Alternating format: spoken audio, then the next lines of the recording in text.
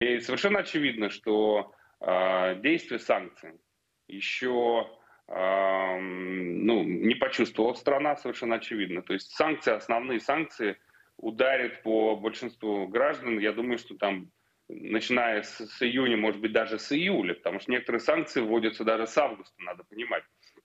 А, будет инфляция, будут дорожать лекарства, а, и людям нужно будет что-то предъявить. А если ты им не предъявляешь каких-то таких вот военных геополитических успехов, то в какой-то момент э, рейтинги все пойдут вниз.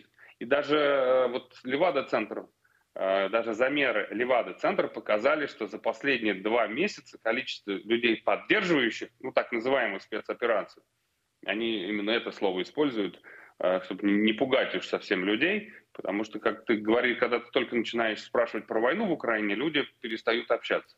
Так вот, даже за последние несколько месяцев, ну, два месяца, да, э, уровень поддержки снизился там, по-моему, чуть ли не на 15%. Вот те, кто а, активно поддерживал эту спецоперацию в самом начале. Так что для э, Путина вообще я не вижу никакого хорошего выхода.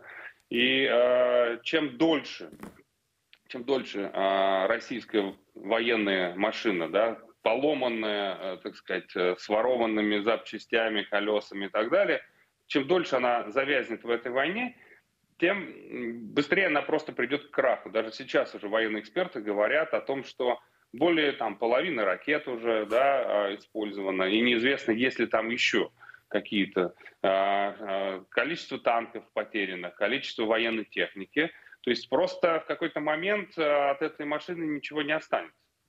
И, и это рано или поздно Путину предъявит. Если, может быть, не сразу граждане предъявят, то, наверное, предъявит э, там, э, какая-то часть элит, которая сейчас вынуждена просто терять все, из-за совершенно э, глупой преступной войны, э, у которой нет никаких причин, кроме тех, которые возникли в больном воображении э, обезумевшего диктатора, президента войны. Так вот, президент войны, он начинал как президент войны, я думаю, что он и закончит как президент войны.